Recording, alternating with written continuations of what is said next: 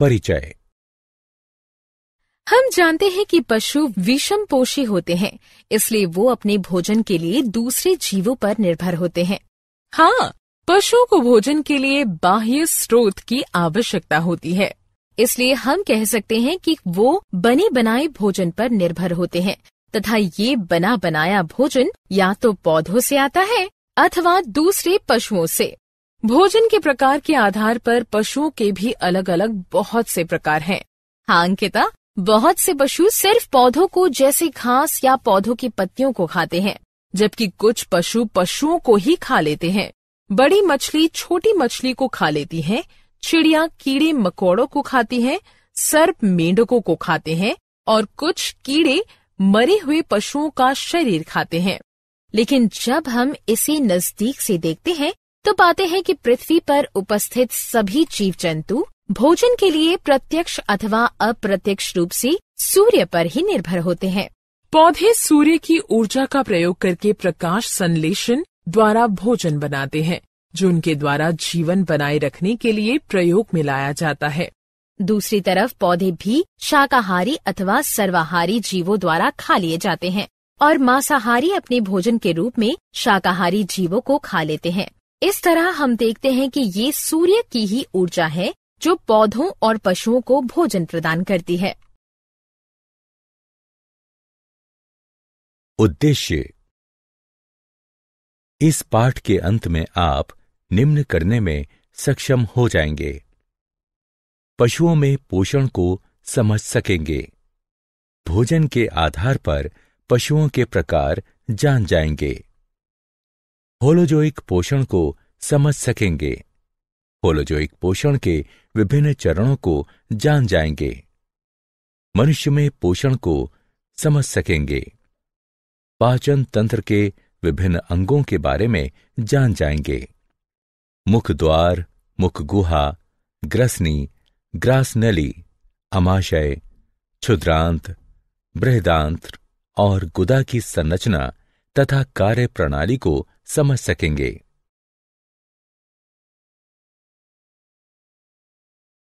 विभिन्न पाचन ग्रंथियों का पता लगाइए।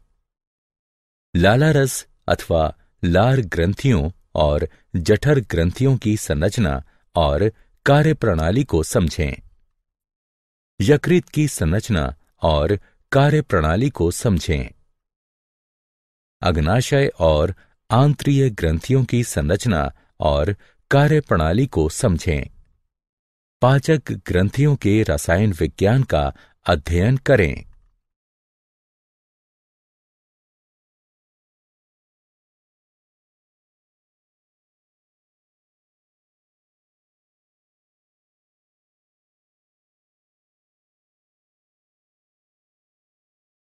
पशुओं के प्रकार भोजन के आधार पर सभी पशुओं को तीन समूहों में विभाजित किया जा सकता है। शाकाहारी, मांसाहारी, सर्वाहारी। जैसा कि हम पहले ही चर्चा कर चुके हैं, वो पशु जो सिर्फ़ पौधों को खाते हैं, शाकाहारी कहलाते हैं। वे घास, पत्तियाँ, अनाज, फल या वृक्ष की छाल खा सकते हैं।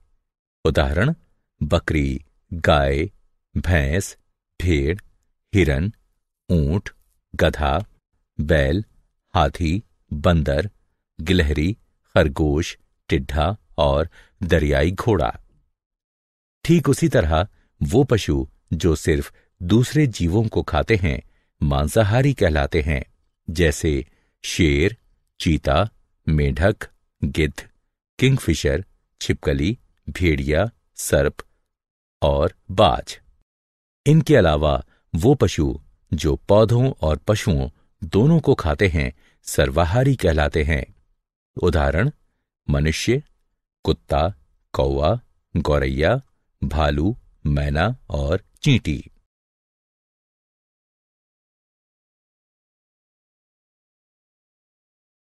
होलोजाइक पोषण। होलोजाइक पोषण, होलो संपूर्ण जोइक और पशु।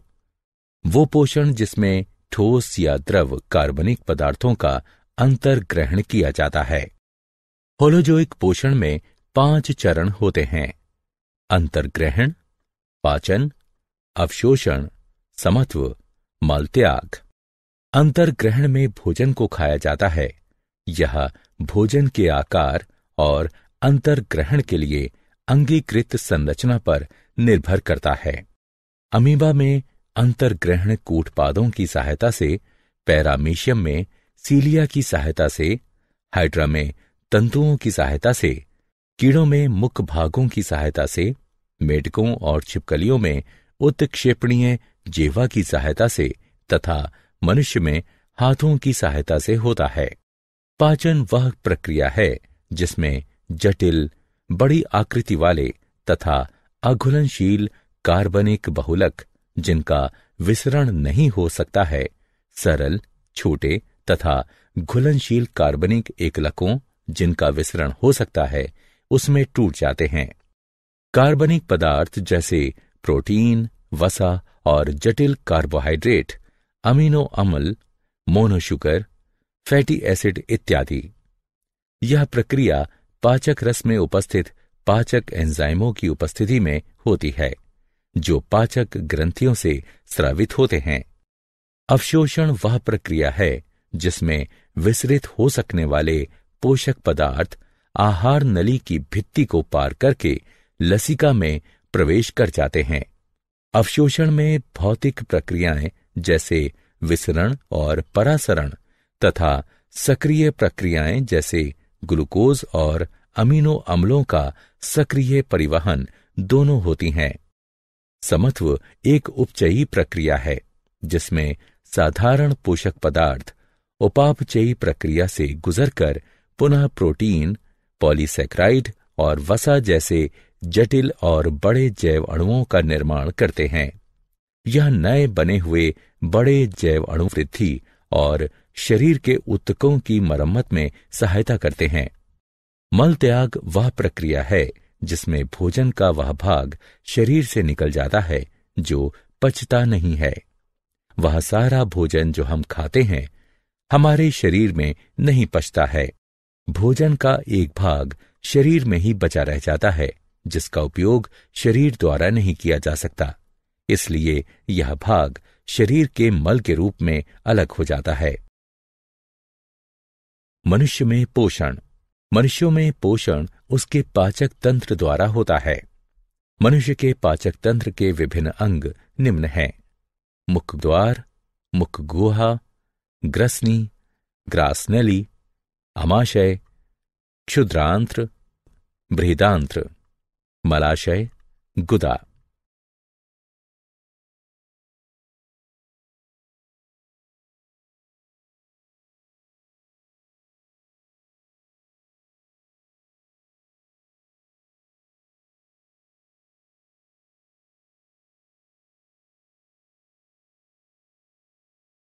मुख द्वार मुख द्वार एक अनुप्रस्थ छिद्र होता है, जो चलनशील ओष्ठों से घिरा होता है।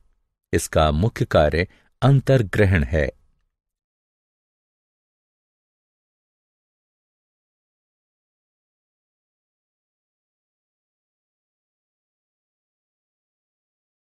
मुख गुहा मुख गुहा में दो मुख्य संरचनाएँ होती हैं, जिह्वा और दांत। जिह्वा एक मोटी, पेशीय और उत्क्षेपणीय संरचना है, जो मुख गुहा के तल पर स्थित होती है। जिह्वा पर स्वाद कलिकाएँ होती हैं, जो भोजन का स्वाद लेने में, भोजन और लाला रस को मिलाने में तथा भोजन को निगलने में सहायता करती हैं। दांत मनुष्य के दोनों जबड़ों में होते हैं। दांत जबड़े की हड्डियों में बने कोटरों में धसे होते हैं। एक वयस्क मनुष्य में बत्तीस दांत, यानी प्रत्येक जबड़े में सोलह दांत होते हैं। दांत चार प्रकार के होते हैं, कृंतक दांत, श्वदंत अग्रच वर्णक और चरवर्णक। प्रत्येक जबड़े में चार कृंतक दांत होते हैं, ये तेज धार, छैनी की आकृति के और शाकाहारी भोजन को काटने तथा टुकड़े टुकड़े करने के लिए होते हैं। प्रत्येक जबड़े में दो शिवदंत होते हैं। ये तेज धार, कृपाण की आकृति के और मांसाहारी भोजन को चीरने के लिए होते हैं। प्रत्येक जबड़े में चार अग्र चर्मवर्णक दांत होते हैं। ये बड़े और कस्प आकृति के तथा चबाने और पीसने के लिए होते हैं। प्रत्येक जबड़े में छह चरवर्णक दांत होते हैं। ये बड़े और कस्प आकृति के तथा चबाने और पीसने के लिए होते हैं।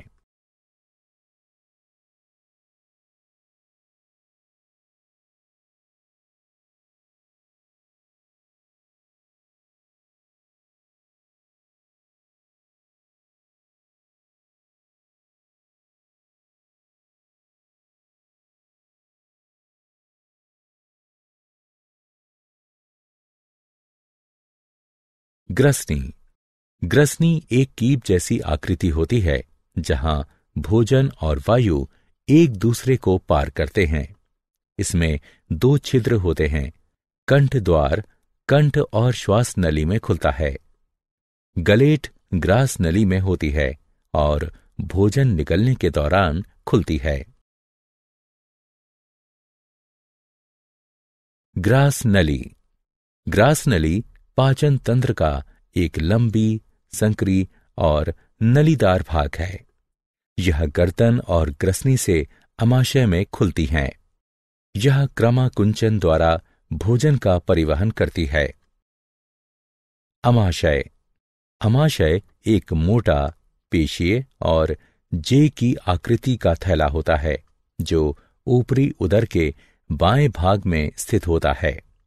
अमाशय भोजन के मंथन और पाचन में सहायता करता है। अमाशय में भोजन का तीन घंटे तक मंथन होता रहता है, जिसके कारण भोजन छोटे छोटे टुकड़ों में टूट जाता है और एक अर्ध ठोस पेस्ट बनता है। अमाशय की भित्ति में तीन नलीदार ग्रंथियाँ होती हैं, जिनसे जठर रस स्रावित होते हैं। जठर रसों में मुख्यतः तीन पदार्थ होते हैं HCl यानी पेप्सिन, एंजाइम और श्लेम। HCl की उपस्थिति के कारण पेप्सिन, एंजाइम अम्लीय होता है और प्रोटीनों का पाचन शुरू कर देता है। श्लेम अमाशय की भित्ति को उसी के द्वारा स्रवित HCl अम्ल से बचाता है। अमाशय की पेशीय भित्ति भोजन और जठर रसों को एक दूसरे में मिश्रित करने में सहायता करती है। क्षुद्रांत्र। क्षुद्रांत्र आहार नली का सबसे बड़ा भाग होती है। एक वयस्क मनुष्य में यह लगभग छह दशमलव पाँच मीटर लंबी होती है। यह बहुत संक्री होने के कारण क्षुद्रांत्र कहलाती है। क्षुद्रांत्र तीन भागों में विभाजित होती है, गृहिणी, जेजुनम और इलियम। क्षुद्रांत्र वह स्थान है जहाँ भोजन पूरी तरह से पच जाता है और उसका अवशोषण प्रारंभ हो जाता है। इसमें दो ग्रंथियों से स्रावित होने वाले रस आते हैं, यकृत और अग्नाशय। यकृत से पित्त श्रावित होता है, जो एक हरा, पीला लवण युक्त क्षारीय द्रव होता है, जो वसा का पायसीकरण अथवा उन्हें तोड़ने में सहायता करता है। इसलिए अमाशय से आया हुआ अम्लीय भोजन यहाँ पित्त द्वारा क्षारीय हो जाता है। और वसा भी छोटी छोटी बूंदों में टूट जाती है।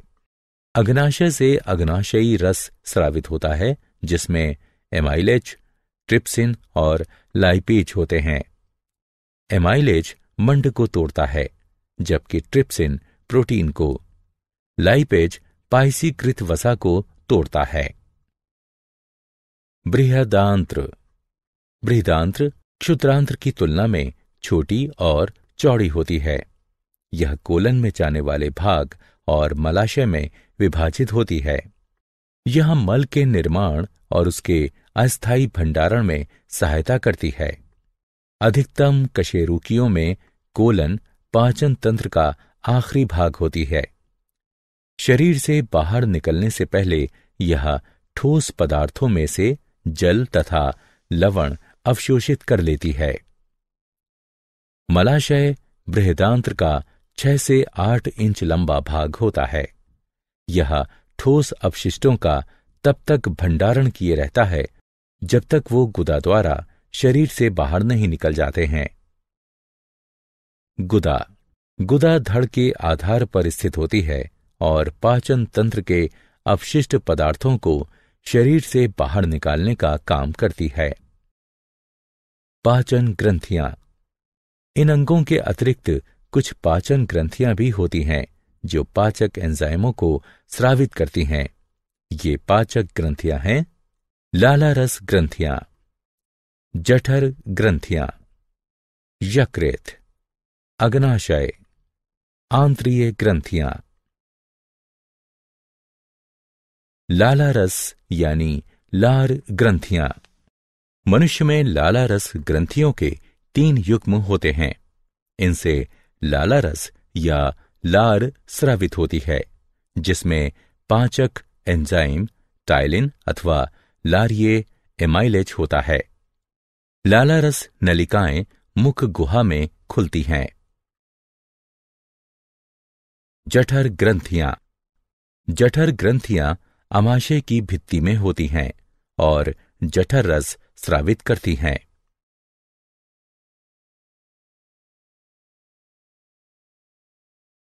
यकृत। यकृत उदर के ऊपरी भाग में दाईं ओर स्थित लाल भूरी लोब्यूलेटेड ग्रंथि है, जिससे पितरस स्रावित होता है।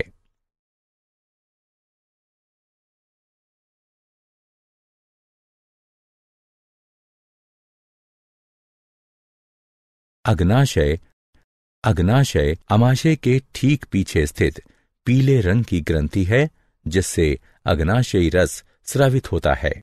अग्नाशयी नलिका के द्वारा अग्नाशयी रस क्षुद्रांत्र तक पहुँचता है।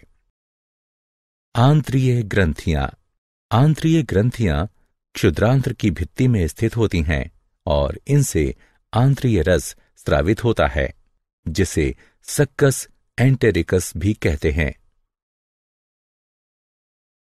मनुष्य के पाचन तंत्र में कार्य करने वाले एंजाइम।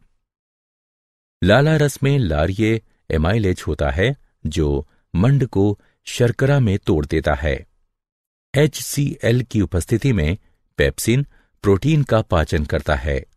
पेप्सिन अम्लीय माध्यम में ही सक्रिय हो पाता है। यकृत यानी पित्ताशय का पित्त वसा का पाचन करके उसे फैटी एसिड में तोड़ देता है। यह भोजन को क्षारीय माध्यम में परिवर्तित कर देता है। एमाइलेज मंड को पचाता है। अग्नाशय से। ट्रिप्सिन प्रोटीन को पचाता है। अग्नाशय से। लाइपेज पाइसीकृत वसा को तोड़ता है। अग्नाशय से। दांतों का क्षय। दांतों के क्षय के कारण दंतवल्क और दंत धातु धीरे धीरे मुलायम हो जाते हैं। जब जीवाणु शर्करा को पचाकर अम्ल का उत्पादन करते हैं तो वो अम्ल दंत वल्क के लवण को नष्ट कर देता है और दांतों का क्षय प्रारंभ हो जाता है। भोजन कणों के साथ साथ बहुत से जीवाणु भी दांतों की सतह पर चिपक जाते हैं और दांतों पर मैल के रूप में जम जाते हैं, जिसे प्लाक कहते हैं। लार अम्ल को प्रभावहीन करने के लिए दांतों की सतह तक नहीं पहुँच सकती, क्योंकि दांत प्लाक से घिरा होता है। भोजन के बाद ठीक से दांत साफ़ करने से जीवाणुओं द्वारा अम्ल का उत्पादन शुरू करने से पहले ही प्लाक हट जाता है। यदि उपचार नहीं किया जाता है तो ये अति सूक्ष्म जीवाणु मसूड़ों को संक्रमित कर सकते हैं तथा सूजन पैदा कर सकते हैं। क्या आप जानते हैं? मनुष्य में वर्मीफोर्म, अपेंडिक्स, क्षुद्रांत्र और वृहदांत्र के जोड़ पर स्थित एक अवशेषी नलिका है। वर्मीफोर्म, अपेंडिक्स की लंबाई का बढ़ना और उसका सूजना अपेंडिसाइटिस कहलाता है। जठरीय पाचन में लगने वाला समय भोजन की प्रकृति पर निर्भर करता है। कार्बोहाइड्रेट के पाचन के लिए यह एक से दो घंटे का होता है। जबकि वसा के पाचन के लिए पाँच से छह घंटे का होता है। सारांश। आइए हमने जो कुछ सीखा है, उसे संक्षेप में दोहराएँ। विषम पोषी जीव अपना भोजन स्वयं नहीं बना सकते और अपने भोजन के लिए दूसरे जीवों पर निर्भर रहते हैं। पोषण में भोजन का प्रयोग होता है और इसमें अंतर ग्रहण पाचन, अवशोषण, समत्व और मल त्याग जैसे चरण होते हैं। अमीबा सर्वाहारी और होलोजोइक है। अमीबा भोजन का अंतर ग्रहण कूटपादों की सहायता से भोजन को घेर कर करता है। अमीबा में पाचन अंत कोशिकीय तथा खाद्य रिक्तिका के अंदर होता है। मनुष्य की आहार नली मुख गुहा ग्रसनी, ग्रासनली, क्षुद्रांत्र वृहिदांत्र और गुदा से बनी होती है। मनुष्य के दांत हेट्रोडोंट होते हैं। भोजन आहार नली में क्रमाकुंचन गति द्वारा नीचे उतरता है। मनुष्य की पाचन ग्रंथियों में तीन युग्म लाला रस ग्रंथियाँ, जठर ग्रंथियाँ, यकृत अग्नाशय और आंतरीय ग्रंथियाँ होती हैं। पाचन ग्रंथियों से पाचक रस स्रावित होते हैं, जिसमें पाचक एंजाइम होते हैं। कार्बोहाइड्रेट का पाचन मुख गुहा में ही प्रारंभ हो जाता है, जबकि प्रोटीन और वसा का पाचन अमाशय में प्रारंभ होता है। पाचन क्षुद्रांत्र में पूरा हो जाता है। क्षुद्रांत्र में ही भोजन का अवशोषण भी होता है। दांतों का क्षय स्ट्रेप्टोकोकस म्यूटेंस जीवाणु द्वारा होता है, जो शर्करा युक्त भोजन में किणवन करता है और कार्बनिक अम्लों का उत्पादन करता है।